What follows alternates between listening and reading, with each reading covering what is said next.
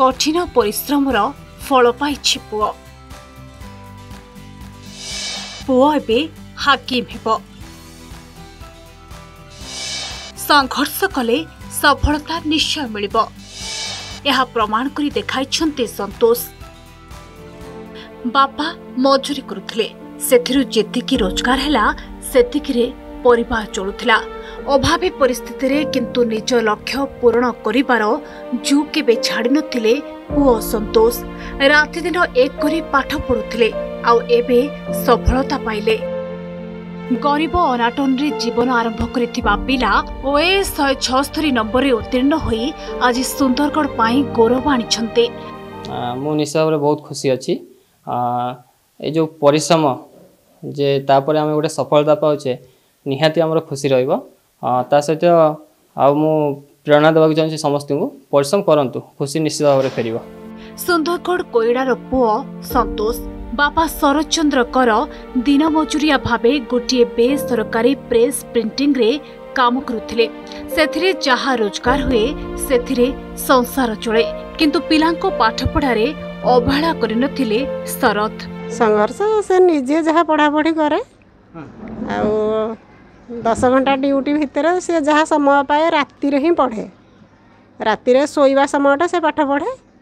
ଆଉ ବହୁତ କଷ୍ଟ ଆଉ। ପ୍ରଥମରୁ ତ ଆମର ଦୁଃଖ।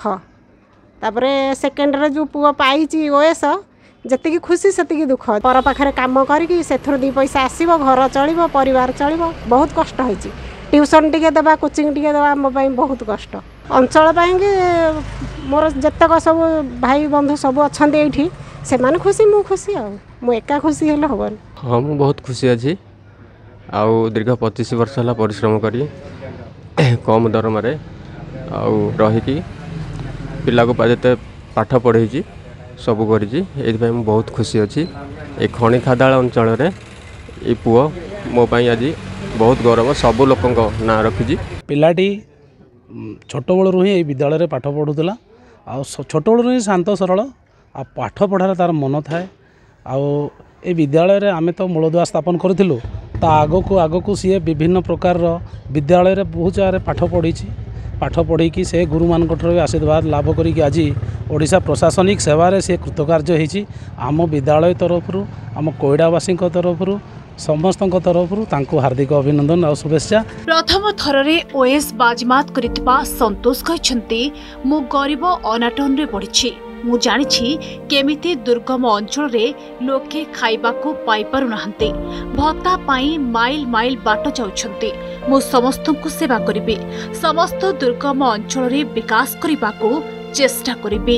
ଆଉ ପୋଷ୍ଟ ଅଫିସ୍ ଯେହେତୁ ପ୍ରତ୍ୟେକ ଗ୍ରାମ ପଞ୍ଚାୟତରେ ଅଛି ପ୍ରତ୍ୟେକ ଗ୍ରାମ ପଞ୍ଚାୟତ ମୁଁ ଯାଇଛି ଲୋକଙ୍କର ସୁବିଧା ଅସୁବିଧା ଦେଖିଛି।